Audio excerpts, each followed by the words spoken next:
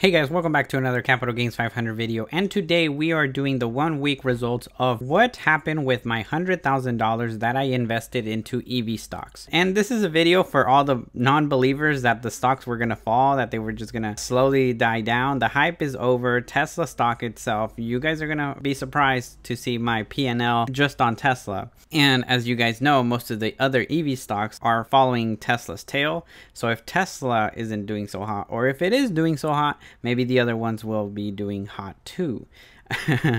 so let's check it out. We are doing paper trading for this experiment because I would not want to be losing $3,000 right now. I would be freaking out, especially on day one. So the things that we purchased in our EV collection was some workhorse stock, approximately $20,000. We bought some Solo, almost 20,000, didn't get the full order of 20. Some Shill, some Tesla, and finally some NIO. I was supposed to buy some Nikola, which good thing I didn't, or else this P&L would be way lower. our losses would be greater. After our initial investment last week on Friday, on the opening of this week on Monday, we literally lost a little bit over $4,000. On this daily P&L, it's not really showing us what companies were dragging us down, but essentially it was Solo that quickly brought us down. I purchased Solo here at around $3.50 and on Monday because we had a huge quantity and a, a, couple of pennies was a big loss that in the next day on opening on Monday we lost quite a bit of money. Then Tuesday we lost quite a bit of money. Then Thursday we lost quite a bit of money. So our P&L kept going down and down and down so quickly just with Solo. Because small movements in this penny stock resulted in a large percentage decline. But then surprisingly, somehow on Thursday, out of the blue, out of nowhere, a whole bunch of buyers came in and they took the stock price from the low of $2.80 all the way till after hours to almost $5. If we would have been able to cash out here, we would have made huge gains. But unfortunately, that was aftermarket, pre-market, and the next day the sell-off quickly started. We had no chance to capture any gains, which First of all, we're not even trading. We're quote unquote investing for the long run, theoretically, in this experiment.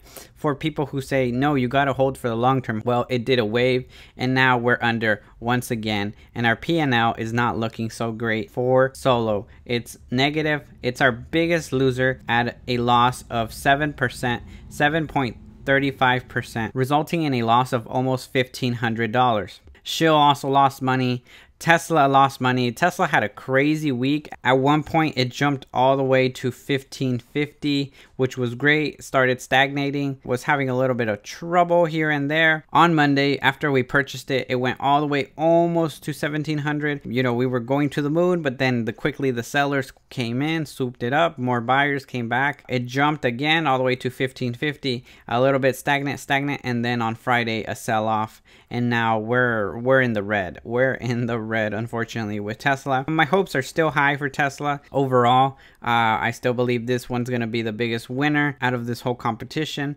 And then we have NIO. NIO actually, uh, it surprised me. I thought it would be lower, only a loss of 2%. So as you can see, most of these EV stocks are in the red, in the red after one week. And of course, it all depends on when you buy in. But in, unfortunately, what I continue to see is that over the long run, the losses are just going to continue to occur. And I made this spreadsheet so we can keep track. My initial prediction for Tesla was that in one week it was going to be around $1,600. Unfortunately, it is not. It is at 1425. Workhorse, I thought we would be in the green, which it's the only one that is, but not at $16 at 1570. Shill, I was having a little bit of hopes with it, at least for it to be a dollar above. We were actually a dollar under. Then we have NIO, NIO, uh, I thought it could do good. A lot of people, you know, were speaking great things about it. Wasn't that bad. We paid an average price of $12.13 and we're only a couple pennies down. But due to a huge quantity, like you can see,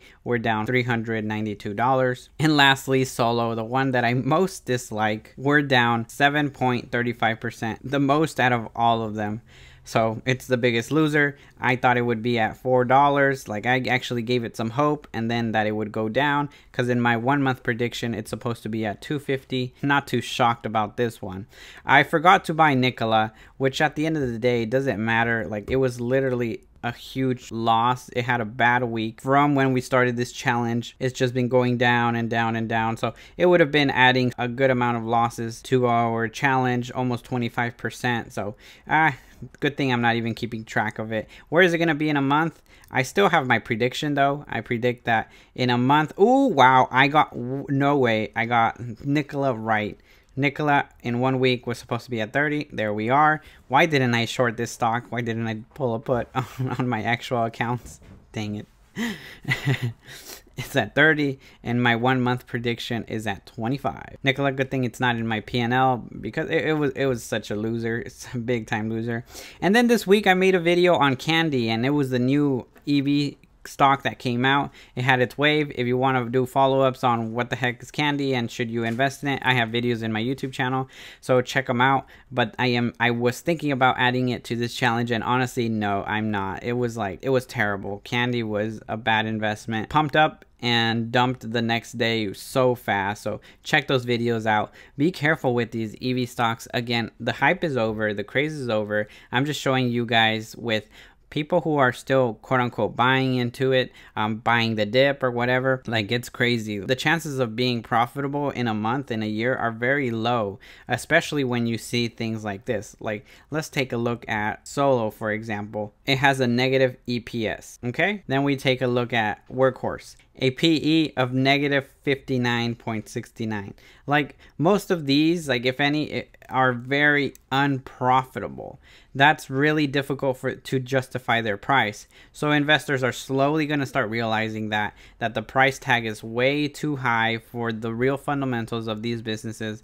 For them to do a 180 and start shooting up and have positive PEs, they really need to act fast in the real world, not in the stock market world, where it's all about sentiment and how people feel about a stock and push it up or push it down. That's the reality. Even though stocks seem to be unrealistic with current reality, at the end of the day, they do have to have some correlation because investors are going to take notice of oh gosh i'm i'm pretty heavily invested in a company that's not profitable negative pe negative price to earnings damn what am i doing i believe shill is one of the profitable ones. Oh yes, here it is. But not even not even one EPS. It's like a point zero seven.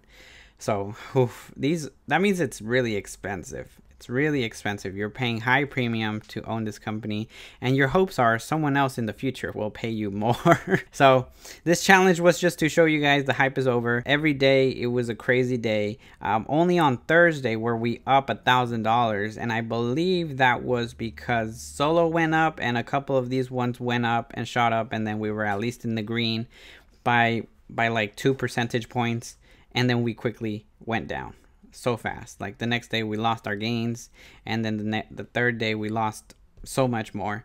Um, we were only in the green two out of the five days this week, and I don't see it really changing. If anything, just another steady decline for the next month. So I will update you guys on that one in the future. If you enjoyed this video, leave a like. If you have any EV stocks, let me know down in the comments. Um, are you selling? Have you sold? Were you in them? Are you do you still have high hopes? Are you in Tesla all the way? Let me know in the comments down below. I hope you guys enjoyed this video. I, am doing this for your guys' entertainment, just entertainment purposes, and also just to show you that like be very careful when investing especially into hype stocks. Those are the ones quickly to crash. You don't want to be that person holding the bag at the end of the day when everybody left. So be careful. Subscribe to the channel so you can get the best stock investment information as soon as possible. Do my best to try to bring it to your attention as quick as possible. So for that remember to subscribe before clicking off. And thank you and i'll see you in the next video. Liftoff of the Falcon 9 and Crew Dragon. Go Godspeed, Bob and Doug. Godspeed indeed. Vehicle pitching downrange.